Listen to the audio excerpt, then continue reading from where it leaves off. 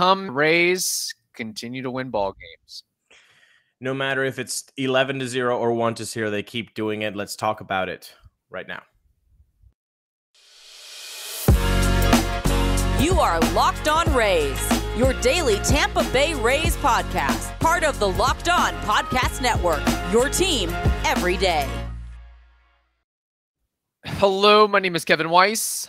I'm Ulises Sambrano. And we are the host of the Locked On Rays podcast, part of the Locked On Podcast Network. Thank you for making us your very first listen every day. Be sure you check out and subscribe to our YouTube channel at Locked On Rays as well as all the other podcast platforms. We are also on Twitter and Instagram at Locked On Rays, and you can email us anytime. We do have mailbag episodes afoot. So lockedonrays at gmail.com to send in those questions and or voice memos. Uh, today's episode is brought to you by HelloFresh. Skip trips to the grocery store and count on HelloFresh to make home cooking easy, fun, and affordable. That's why it's America's number one meal kit. So go to HelloFresh.com slash MLB60 and use code MLB60, MLB60 for 60% off plus free shipping.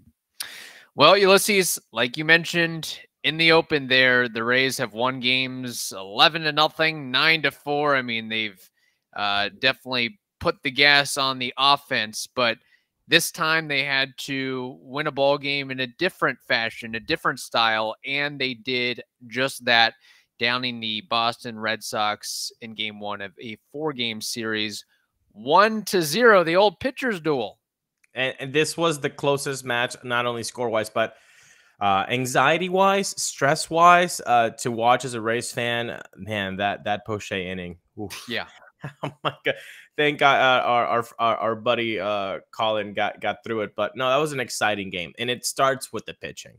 It has to. I mean, great job by both lefties, uh, Beeks and and Fleming, setting the tone. You needed to. Um, you know, you looked at the Nick Pivetta numbers against the Rays uh, in 2022, and the slash line was impressive. Like, you know, oh, you're like, oh, they can hit Pivetta the heck out of the ball. But this is why the numbers might lie to you. If you watched Pivetta pitch against the Rays, you also remember him having a no hit bid through five. So that's why when you just look at the numbers, oh, they're hitting 26 with an 800 something OPS, like, oh, th- this is going to be easy. Like, no, but did you watch the game? That all unfolded after the fifth, sixth inning uh, right. when he was tired already. So uh, you you you have to have some sort of uh, flavor for the game, some taste for the game, and and so I, I, wasn't so confident on on on the Rays lineup with Nick Pivetta, and he showed up, man. Uh, th- their guy also wants to win, but that's why Beeks and Fleming keeping that score at zero was so paramount, and they did. Uh, you got you gotta you gotta give up uh, the you gotta give them credit, Beeks and and and Fleming. Yeah, and I wonder if the Rays will continue with that approach as Tyler Glasnow continues to be out of the fold of you allow Beeks to be the opener, which I like the beard that he has going on, giving yeah. the old intimidating Dallas Keuchel look, and then Fleming off of that, which that's a nice bounce back confidence builder for him going forward. And then again, like you mentioned uh, on yesterday's show, just hey, run lefties up against the Red Sox when you can. Beeks, Fleming, Cleavinger, Poche. That didn't quite uh, work out uh, as planned with the bases loaded, and then uh, he eventually knocks down uh, Rafael Devers, who Devers is over 8 in his career against Colin yeah. Poche, believe it or not. And then Pete Fairbanks gets the Rays' very first save of the year, 10 games in, if you can believe it. But yeah, um, in a game that is one nothing, you of course have to have terrific pitching, but you also have to have good defense behind you. And we saw that on both sides. Definitely on the Red Sox side with Rob Refsnyder. I don't know what the catch probability percentage of that play was, but that's a, a play that would be hard for Jose Siri or Kevin Kiermaier to make. And for him to rear back, ball was way over his head, and he goes to the deepest part of the ballpark and basically uh, a backward slide uh, to make that catch was amazing and, and really could have been a momentum and game changer for the Red yeah. Sox if they had put a run on the board, which Refsnyder, former Ray, by the way. Uh, I looked this up. I cannot believe it. He has been kicking around in the league since 2015. Eight year veteran. He could have his pension relatively soon. I don't know if he has like 300, 400 career at bats yet, but he is he is making a roster by hook or by crook. It seems. It, I would have never when he was with the Rays, I would have never said, "Oh, in 2023 he will be the the Red Sox starting outfielder, uh, center yeah. fielder." Like I would have never guessed that. It's it's there are some guys that just uh just make the roster. They're they're just a 26 man and and they will. In this case, hey, being a starter is not being the 26 man, but you know, just like we talked about during our fantasy uh league, Taylor Motter has a major league job. Taylor Motter, at least at, at the beginning in the opening day roster, he did. I don't know if he's been sent down, but yeah, those names that you're like, how is this still a name in the big leagues? Good for them. But yeah, that Refsnyder play was was incredible, and it could have been a game changer for the Rays. I believe that we uh, the Rays had men on first and second, right, or second and third. No, I think first and second. Um, so it, it, it could have been a really yeah game changing play, and and you know you keep the game at bay. But I, I want to go back to what you said in the beginning. Uh, you you know with Glasnow out, will they keep employing this this opener for Fleming? I beg them to. I beg them to. Yeah. Just put your players in a position to succeed. I think Rays fandom is okay with not seeing Josh Fleming be a starter. I think if you want to really utilize him properly, you use him as a bulk guy. I mean, that, that's that's okay. You, so, that is okay. That not everybody fine. can be a starter. Not everybody can be Tyler Glasnow. Not everybody can be Shane McClanahan. There's different roles for different guys. Not everybody can yes. be a closer, ninth inning. Some sometimes guys are most comfortable in that that middle inning leverage role, and yeah. it's about finding that sweet spot for Josh Fleming. I feel like the Rays have kicked the tires on. Let's try to make him a starter, and thus far, I mean, maybe you know a year or two from now, maybe that that will be uh, in his future. But as of right now, that's that doesn't seem to be the role for him. No, it doesn't, and and and and that's okay. Uh, uh like you said, there's a role for everybody. I do want to say Jalen Beeks, man, his, his changeup was at 90 miles an hour, and uh, Andy was saying how his, his changeup, uh, Beeks' changeup, was the same velocity as Fleming's fastball. Yeah, that was pretty cool. Uh, so I know you're a Beeks guy and you've wanted to say, hey, well, how about making Beeks a starter? I wouldn't be. I've been opposed to it because we saw him and we I did not like the results, but we haven't seen him be stretched out uh, since him doing some changes and coming yeah. back from Tommy John.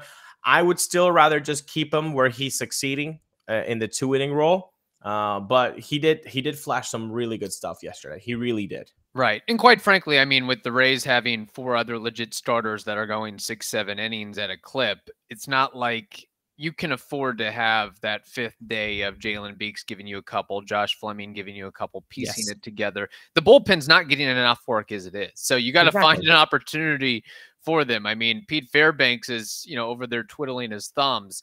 Uh, so I I'm cool with that situation now. Maybe things change if and when there's more pitching injuries that come down the pipeline. But I think that for now, that's that's a really good approach. I, I do like Jalen Beeks. I like what he has to offer. Um, there were times in in that game where uh, he gave up some loud contact, made uh, yeah. made Randy Arozarena work, but at the end of the day, and, and outs and out too. So uh, yeah. there's a couple other notes on this game that we'll get to, but first we have to tell you about our new sponsor called Sorare. Sorare is a revolutionary fantasy baseball game and marketplace transforming fans into owners with officially licensed digital cards featuring players from across all 30 MLB teams. Unlike other fantasy baseball platforms, Sorare managers truly own their fantasy experience, collecting, buying, selling, and competing with player cards against global opponents to win epic rewards. Win or lose, you still own your cards and there's no cost to play. So head over to so sorare.com slash locked on. That's spelled Sorare, S O R A R E dot com to draft your team of free player cards, set your lineup, and start competing today to win epic rewards. Again, that's sorare.com slash locked on, L O C K E D O N, to start playing today. All right, we almost buried the lead there. We didn't even mention how the Rays scored their one and only run, the the only run of that ball game, if I may add, a two-hour, six-minute affair. Love that.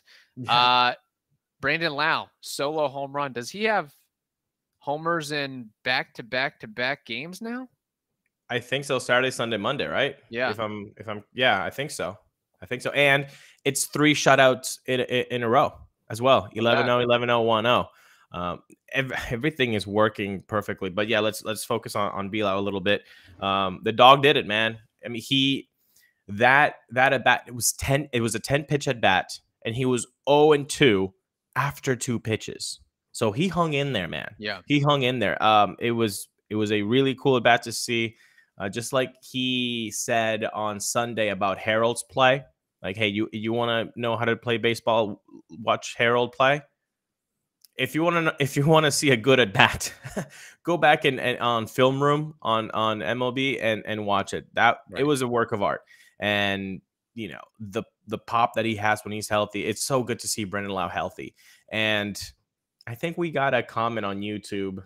I'm not gonna remember the name so whoever said that and you you're watching this i'm sorry i'm putting you out there but i'm not fully putting you out there um hey should we be worried about Brandon Lowe and i think it was like game six like he has done enough in his mlb career to know he's gonna pop off Right. we gotta stop this propaganda that Brandon Lowe is not gonna pop off. Oh, is he gonna? Is the bubble gonna burst? I, I, I, I- you know, it's it's not. It's fine. Everybody can have a bad six, seven games. It's going to happen. Um, but ultimately, the line's gonna be there. Yeah, and he has in previous year been a slow starter as well, but it's just good to see him and other Rays. It seems to be a theme thus far. You have middle up fastballs, fastballs up in the zone, and they're ducking, getting underneath, lifting it, and depositing it out of the field. So um, it just seems like, man, they're really turning and being able to get out in front of those fastballs that are top of the zone. That that's kind of been all the rage throughout baseball is hey, you got to pitch to the top of the zone, got to pitch to the top of the zone. And it seems like the Rays have some sort of approach to counteract that. The other thing, too, uh, Brandon Lowe uh, batting, what was it, second in this game uh, in the lineup? Yes, yes, And- yes.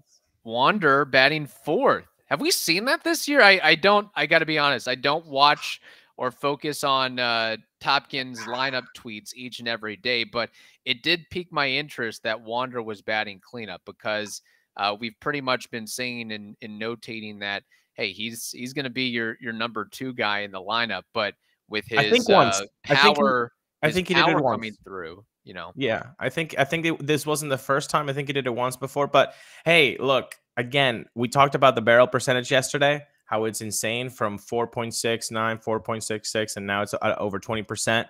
Um, yes, I don't think he'll be a 30 homer guy this year, but I do think that he is showing that, like you said, with the launch angle plus the barrel per- percentage. And this, th- th- he could have a 20, 25 home run season this year. Yeah. And depending on the baseballs that are being thrown out there, if they're the Aaron Judge uh, rubber balls, hey, then you can put some damage on the on the home run totals too. Uh, he could be a 30 35 home run when he comes into his body. He doesn't need to, like you said Yeah. yesterday. He doesn't need to. And you're completely uh, uh, right about that. But he could. Like Ronald Acuna doesn't have to be a 40 40 guy, but he could. like Right. it's it, it's it, would be pretty intense. But no, good eye there, putting Wander uh, uh, in the fourth spot. You got to keep those guys together. Uh, Yandy, Randy, B-Lowe, and and and Wander. They're your best bats. So Yeah. when you put them all in the top four, you're gonna create some havoc on the bases. Uh, which it was nice to see Randy. Let's let's let's spread the love here. Randy uh, going to uh, going to second, getting his steal. I think he's two for two. No caught steal. Hey, there yet. we go. Well, with There the bigger bases and the rules changes, you would think that. I mean, we've seen it throughout baseball. The success rate on Yeah. base stealers is extremely high. It's like got to be upwards of 75, 80% thus far. it's it's such a different brand of baseball of of what we've seen for the last 10 years and yeah and it's much needed too i mean when you have uh i mean th- these rules changes are probably about 5 10 12 years too late but at least they've come through and yes. now a ball game instead of hey even in a one nothing game like this it still moves smoothly and you have action throughout and that's the big thing is where you don't want to have to i mean even last year it was like there'd be times where okay, uh, I'm just gonna scroll on my phone for a minute until the next pitch comes through. There's none it, of that anymore. Hey, there's yeah. there's time, there's clocks in in uh in basketball, in football. Why not add it to baseball? And and you know, I, I know the traditionalists are like having a, a, a rage fit right now. I'm sorry, the sport is never for the older persons. And, and when we Kevin and I, who are in our in our young 30s, when we become, you know, the 60, 70 year olds, which hopefully we will, and we we get to live old, old you know, till old age. Whatever we think about the sport, I'm sorry, the sport is no longer for us. Yeah, it isn't. It's for the younger generation. It's for the grandkids. It's for the kids. Like that's what it is. And and and and so, so I, I don't I don't get that mentality of like oh it has to be kept like in the 1800s when there were the New York Gothams. Like, what? Yeah. By the way, did you know that there was a team called the New York Gothams? I did not know that, but they should definitely bring that back. That I know. fun, fun moniker to have. You can do like like the City Connect. I know the Yankees are not this cool, but if I were, you know, in the Yankees marketing team, I'm like, yeah, we're bringing the Gothams back. Yeah, we're doing some sort of do Batman thing. Yeah, yeah, that would be so cool. No, that'd be really um, cool. No, no, yeah. no. Uh, it, has been it's been great to see, and you finally get your your nail biting save there with Pete Fairbanks, dude. He is just on fire. A couple little grounders. Did you get nervous when you saw him for the last out? Like still go to first, and like it was already covered, and he still was in the trajectory of the ball. I was like, dude, yeah, like, chill.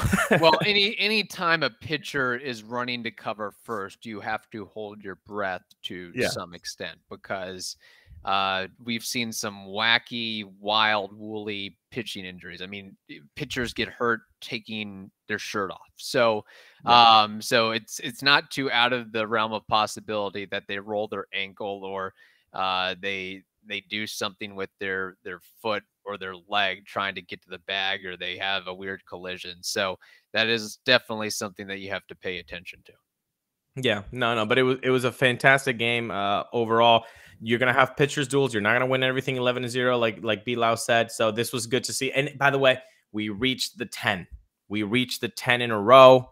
Uh, again, rejoice. Uh, and and and and you won the most difficult game uh, in in on paper. Yeah. Because you don't have any of your horses. So now it's going to be McClanahan tonight on Tuesday. Then you get uh is it Eflin and then Springs or Springs and then Eflin? I believe it's Eflin and then Springs. Okay, yeah, I think so. Eflin and Springs. So you, you won the most difficult game. So if you can take three uh, out of four, it's it's it's been a beautiful start, uh, and, and I think we would all take that. Yeah, and uh, we'll discuss a little bit of that uh, matchup between Garrett Whitlock and Shane McClanahan. But first, Ulises, we have to tell the audience about something very important.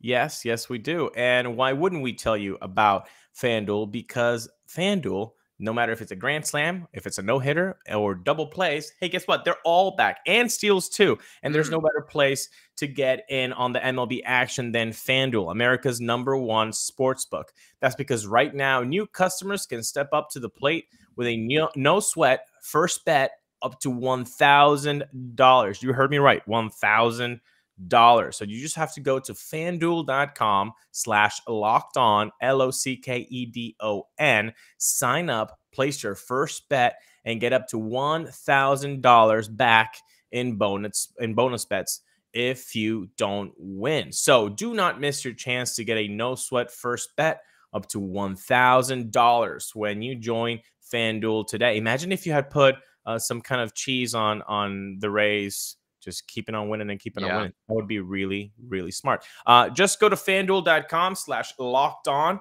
to sign up. Again, L O C K E D O N. FanDuel, official partner of Major League Baseball. Okay, so tonight it's Garrett Whitlock going up against Shane McClanahan. Garrett Whitlock will be making his first appearance of the year. He's yet to pitch in 2023. Of course, uh, he's been one of the um, bright spots for the Red Sox over the last couple years. A guy who gets tons of extension, doesn't uh, walk a lot of guys, uh, mainly sinker, then mixes in the changeup in the slider, just a solid all around pitch, uh, pitcher. But Shane McClanahan will be making his third start, third appearance of the year. And if I had FanDuel up and loaded in front of me, I'd probably, you know, pencil in, yeah, Shane McClanahan, I would fully expect uh, at least six innings and at least six strikeouts. Yeah. And I know that uh, he kind of struggled last time out with with a Nationals team. Uh, you're gonna have those, but he he persevered and he got the W, and th- that tells you a lot about his mindset right now. Uh, we talked about lefties would be the type of pitcher that would give the best hitters right now for the Red Sox the most fits. We saw that with how they employed the, their bullpen: Beeks, Fleming, uh, Cleavinger, Poche.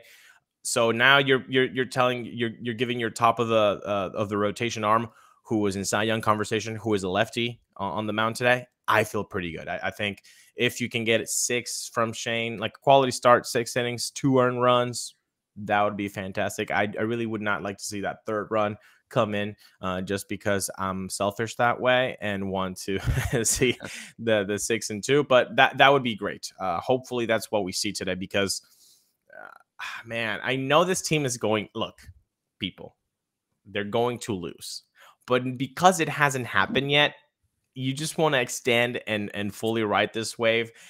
I, I mean, can it just last a little bit longer, Kevin? I really now now I'm being I know I'm being greedy. I want the number 11. I really do. I want that Brewers record. 13 and 0. I know. I know. That would be and it would just be so nice to just like shut up those talking heads on on Twitter and on Sports Center and all that stuff like, "Oh, they're not doing it against competition." Okay, if you're if you're thinking that this is easy, first of all, I, if you're a Yankee fan, I, I I better see a plus 58 run differential when you meet the Oakland A's, the Red yeah. Sox, and the Washington Nationals and the Detroit Tigers. Oh, you didn't sweep all of them. Oh, I I guess you can't even beat real teams like you said that the Rays weren't playing. It's just I know, and I right. shouldn't get worked up about what somebody in an anime profile picture on Twitter says. And yet, yes, and yet that's why you got to stay away from the anti-social media. I do. I know. It's a virus. It's a, it's virus, a virus, out there. Successful, it's like you said. For you yeah. know, kind of bantering about little baseball things, but when yeah. people uh, think they're you know smarter than Einstein on there and have the best quips and, and one-liners, it's like okay, uh, find something better to do with your time. Uh, so yesterday's game was yeah. one to nothing. The Rays have traditionally so far this year put a lot of runs on the board. Uh, with this pitching matchup and with the roster construction of both of these teams, over under five and a half runs combined tonight. I'd say under. Under. So another pitcher's duel esque affair. Yeah, I, I, don't see this being a, a f- more than a four to one score. Mm-hmm. Um, uh, hopefully, you know, Maybe I'm wrong. Uh, as long as I don't care about being right uh, on this, if the Rays win, yeah. like if they if they win it and they blow them out of the water, fine. But I, for the pitching matchup, I I don't know. I I feel like this is a step up team of of the Oakland A's and and the Tigers and the mm-hmm. Nationals.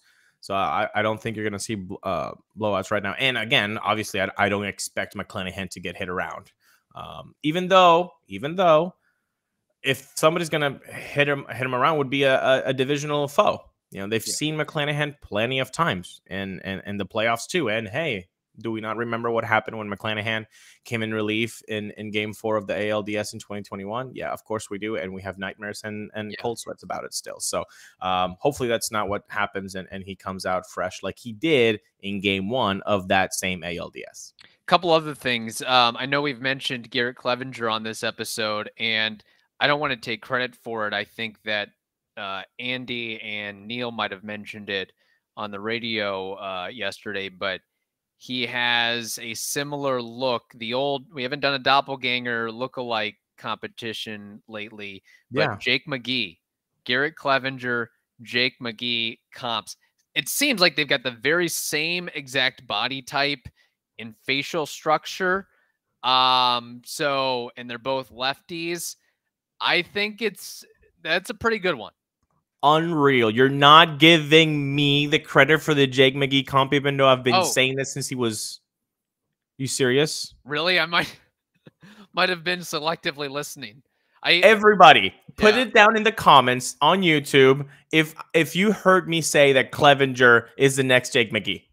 Please and thank you. but did you not in terms of like what type No, not in terms of like obviously in terms of of the pitching Okay. repertoire, but like I'm talking about like is- actual looks. I'm pretty sure, and I'm- gonna have to to to see if I can scrounge up this tweet. I don't know how to look up past tweets, so I'll have to Just boom, guess boomer my way out of it. McGee Cleavinger and see what pops up on your end. I'm pretty sure I said McGee, uh, uh Cleavinger is the McGee doppel, doppelganger. Uh, yeah, Hmm. pretty sure I did say that. I'm gonna Well, try to find it, and if I try to, I'll, I'll I'll- I'll show you guys tomorrow on tomorrow's episode. How about that? There we go. And uh, if you're watching on YouTube, Ulises still has the sunglasses going, has the Ray Charles look. He's blocking out the haters. Uh, update How long will you be going with the sunglass approach?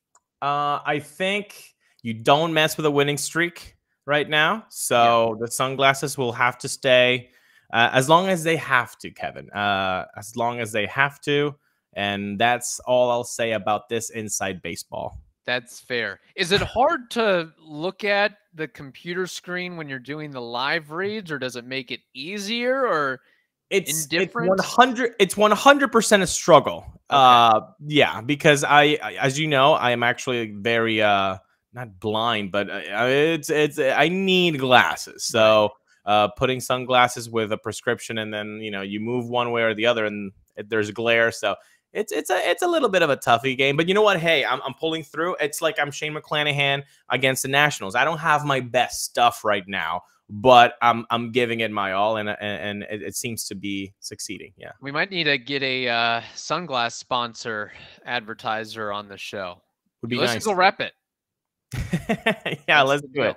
Let's do it. All right. Uh, very good. Um, thank you for making the Locked On Rays podcast your very first listen every day. Now make your second listen the Locked On Fantasy Baseball podcast. That is also free and available on all platforms. Hope you all have a wonderful day. Stay safe, and we will talk to you tomorrow. Let's go for 11. Let's go.